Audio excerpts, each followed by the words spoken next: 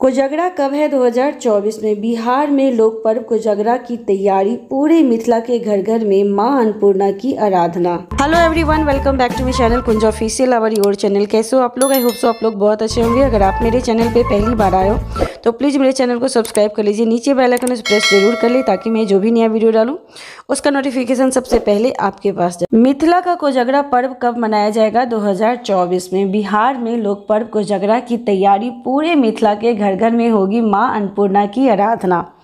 आश्विन माह की पूर्णिमा तिथि को मनाया जाने वाला पर्व कोजगरा में मुख्य रूप में लक्ष्मी के अन्नपूर्णा रूप की पूजा होती है। साथ ही घर में आई नई विवाहिता को सामाजिक स्तर पर आशीर्वाद दी जाती है, जिसे चुमावन कहा जाता है। मिथिला का प्रसिद्ध लोक पर्व कोजगरा 16 अक्टूबर को मनाया जाएगा। मिथिला के घर घर में माँ अन्नपूर्णा की पूजा होगी। अश्विन माह की पूर्णिमा तिथि को मनाया जाने वाला पर्व कोजगरा में मुख्य रूप में लक्ष्मी के अन्नपूर्णा रूप की पूजा होती है। साथ ही घर में आई नवविवाहिता को सामाजिक स्तर पर आशीर्वाद दी जाती है, जिसे चुमावन कहा जाता है। मिथिला में कोजगरा की रात नवविवाहित दंपति का चुमावन करने की परंपरा सदियों से चली आ रही है। इस परंपरा का निर्वहन आज भी पूरी शिद्दत के साथ की जाती है। मखाना बांटने की है परंपरा। परंपरा के अनुसार कोजगरा के दिन नवविवाहित दंपति को मखाना चूड़ा मिठाई, दही, नए वस्त्र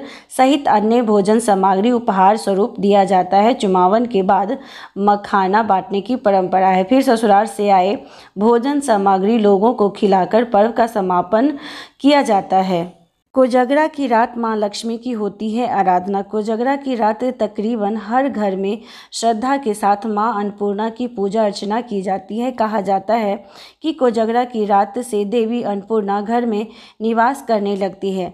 श्रद्धा व निष्ठापूर्वक उनकी पूजा अर्चना करने से घर में सुख समृद्धि और शांति आती है। इसी भावना से मिथिला के हर घर में देवी अन्नपूर्णा की आराधना की जाती है। मान्यता है कि जिस घर में आश्विन माह की पूर्णिमा पूर्णिमा तिथि को माँ अन्नपूर्णा की पूजा होती है। उस घर में कभी अन्न का संकट नहीं होता है। उस घर का कोई भी, कभी भूखा नहीं मरता है। जगड़ा का पर्व आश्विन माह की पूर्णिमा तिथि को मनाया जाता है। इस बार पूर्णिमा तिथि 16 अक्टूबर को रात आठ बजकर चालीस मिनट पर प्रारंभ होगी और 17 अक्टूबर को शाम चार बजकर पचपन मिनट तक रहेगी। कोजगरा का पर्व रात में मनाने की परंपरा है। नतीजतन शाम होने के बाद कभी भी नवविवाहित दंपति का चुमावन की रस्म पूरी की जा सकती है। पर कोजगरा जो है, वो 16 अक्टूबर को दिन बुधवार को मनाया जाए।